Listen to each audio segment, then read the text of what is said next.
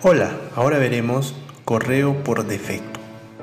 Vamos a la sección correo electrónico e ingresamos a dirección por defecto.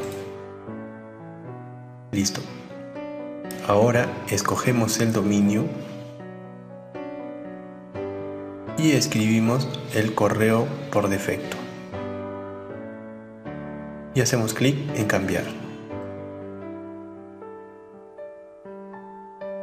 Listo. ¿Para qué sirve esta función?